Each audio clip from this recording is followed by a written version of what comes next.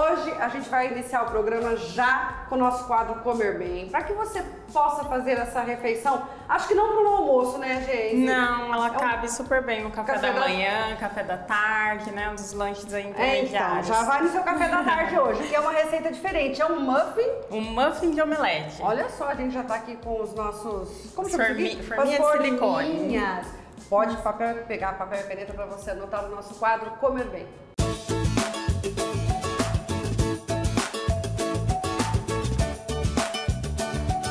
Comer bem.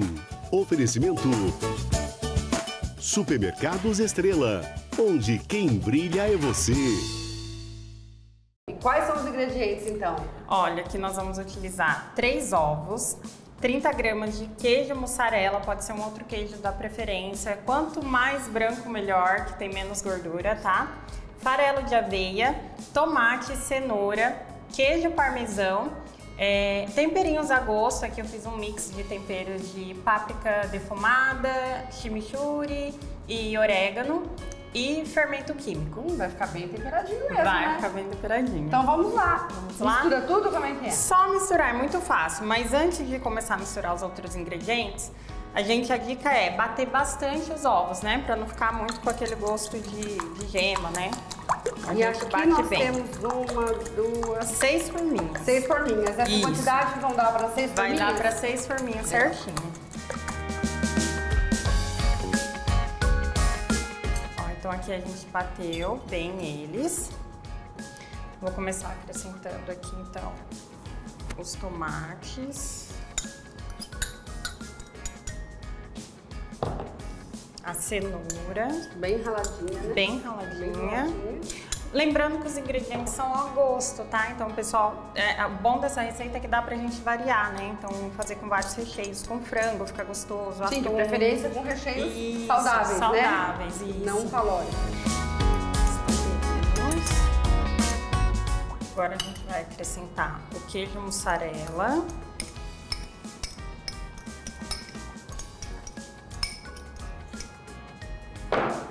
E o farelo de aveia. O fermento sempre por último. O fermento por último, último. sempre, isso. Aí agora que a gente mistura bem, depois eu acrescento o fermento.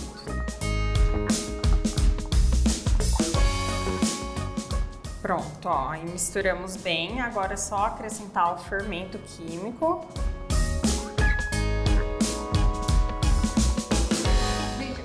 Só o nosso muffin, muffin de omelete. Já saiu, tá quente. E ele desenformou super facinho, né? Olha Super aqui, fácil. Ó, ó. Olha só, ao invés de comer com garfo pra faca, eu vou morder ele pra eu poder provar, né? Vamos lá. Pode, né? Pode, Pode morder assim, pode. né? Olha, Pode, gente, ficou firminho, ó.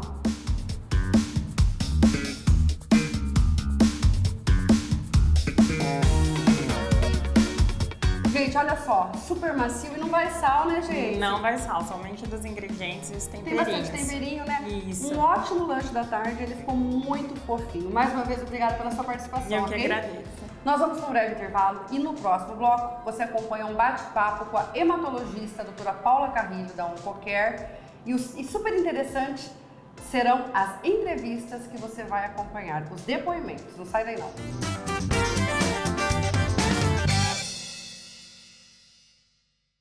E como em homenagem aos sete anos da Oncocare, que a Oncocare completou sete anos no dia 27 de setembro, é isso, né, doutora Paula? Na semana passada, Isso. a Oncocare, que agora faz parte da Oncoclínicas, que é o maior grupo de oncologia da América Latina.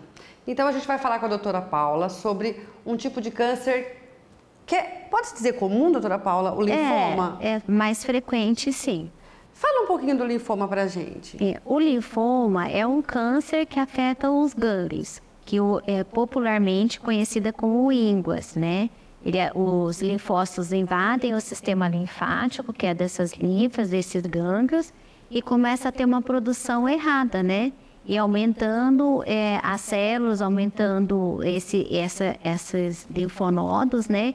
E a gente é conhecido como, sabe, nódulos, carocinhos que surgem no pescoço, nas, na axila. Esses seriam os principais sintomas? É, o principal sintoma, é o primeiro sinal que o paciente observa é essa íngua aumentada, né? Esse nódulo, esse caroço que pode ser, como eu disse anteriormente, no pescoço, nas axilas, nas virilhas, né? E associado a isso, o paciente começa a ter perda de peso, é, começa a ter muito suor noturno, pode ter febre no período geralmente à tarde, no mesmo horário. Esses são os principais sintomas observados. E quais os tipos de linfoma? Então, nós temos dois tipos de linfoma: o linfoma não Hodgkin e o linfoma de Hodgkin. O linfoma de Hodgkin é característico por, célula, é, por algumas células grandes, chamadas de células de Ried-Steinberg. E o linfoma não Hodgkin tem uma infinidade de classificações. E nos linfomas não Hodgkins, que a gente fala do linfoma que ele é indolente, ele tem um crescimento lento, e os linfomas é, não Hodgkins mais agressivos é aquele que cresce rápido, que tem um, um, sintomas mais exacerbados. Doutora Paula, os dois tipos de linfomas têm cura? Tem, tem linfomas que têm cura sim. Tanto um quanto o outro? Quanto o outro. E os tratamentos? É, geralmente é a quimioterapia Alguns tipos de linfomas a gente associa à radioterapia, né, para irradiar essa massa. E é, alguns a gente consolida, que é pós-quimioterapia, a gente faz o transplante autônomo do próprio paciente. E alguns que não têm resposta, pode ser o transplante halogênico. E é importante a gente falar da cura, porque quando as pessoas recebem um diagnóstico como esse, parece que o mundo, a casa caiu, né? É, ainda mais quando eles têm os linfomas agressivos, que tem mais sintomas, isso assusta muito de uma evolução rápida e qualquer tipo de câncer, de câncer né? É, com certeza, né? Eles levam, assim, uma preocupação maior com a vida, né? Então, é, eles ficam assustados, mas é, hoje a medicina evoluiu muito na terapia das doenças oncológicas. Então, a gente tem vários tipos de tratamentos que levam a cura. Bom, e você pode observar isso a partir de agora. Eu tive um linfoma de Hodgkin e eu descobri ele em abril do ano passado. Eu estava terminando a faculdade quando apareceu um caroço no meu pescoço.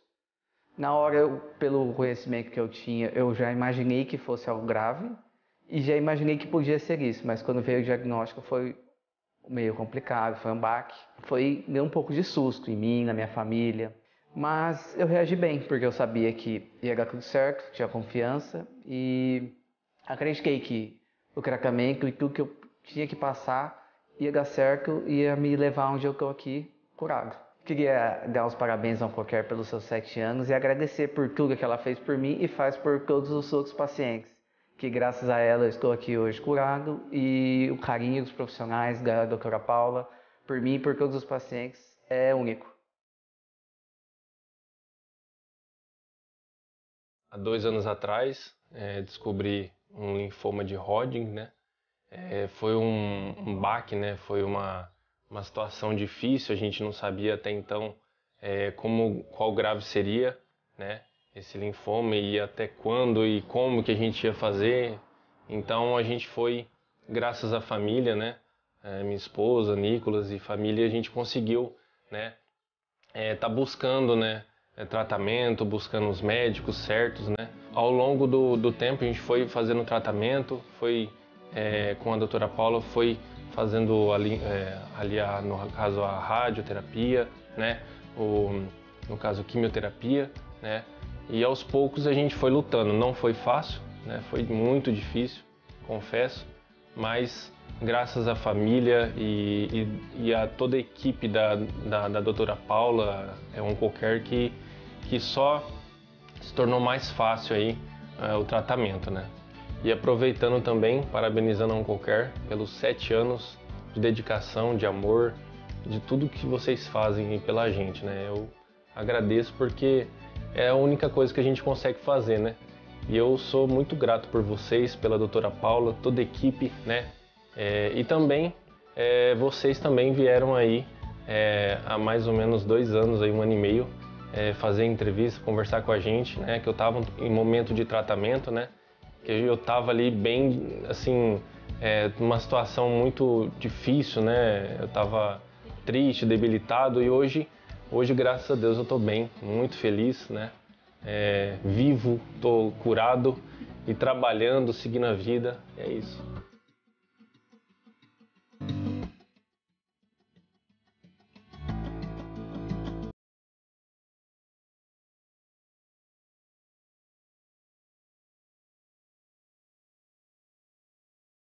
E olha só, doutora Paula, ouvindo e lembrando desses dois pacientes, você se emocionou aqui, né? É. Que os olhinhos dela chegaram a brilhar. Você quer deixar algum recado para eles e para as pessoas que estejam passando por esse problema? Sim, é, que não percam a esperança.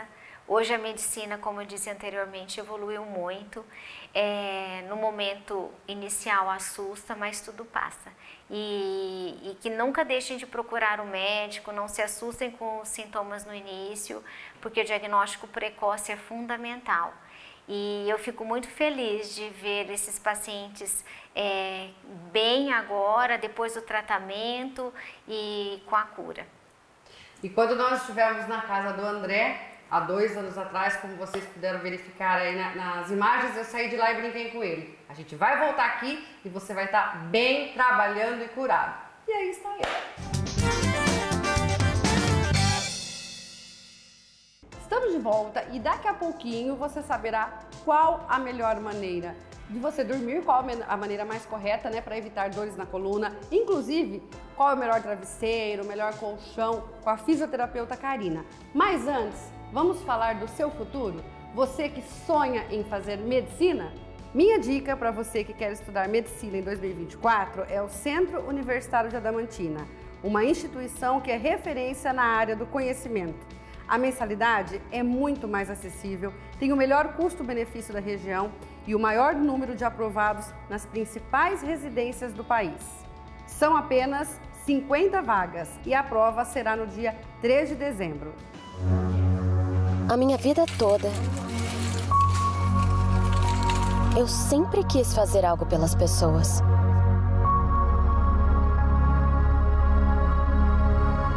Algo que tirasse a dor delas.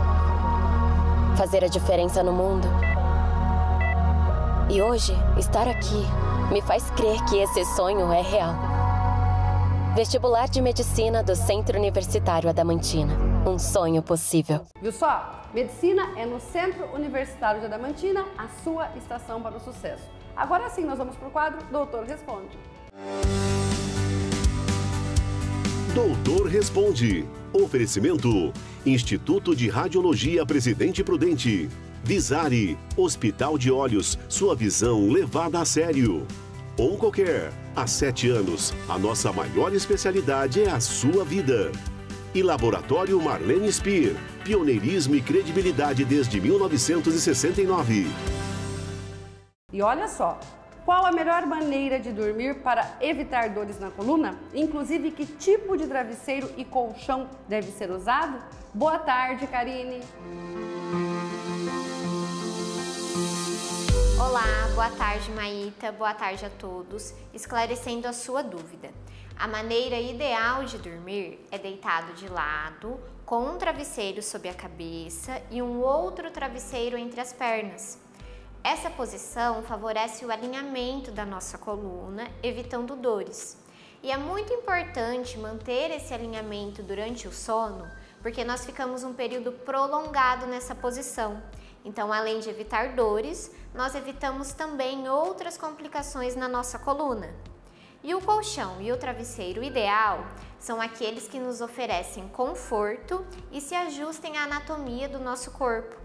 Então você precisa de um colchão onde a densidade esteja de acordo com o seu peso, pois se for muito rígido, você não vai ter o conforto e o descanso necessário. Da mesma forma que se for muito mole, ele não vai se ajustar à anatomia do seu corpo, te causando dores e outros problemas na coluna. Até pensando nisso, a franquia Dr. Erne desenvolveu, junto com a empresa Coluna Premium, um colchão específico para a coluna vertebral. Você encontra mais informações sobre esse colchão em uma unidade mais próxima a você, que está disponível no nosso site www.doutorernia.com.br barra unidades. Até mais, Maíta, e espero ter esclarecido todas as dúvidas.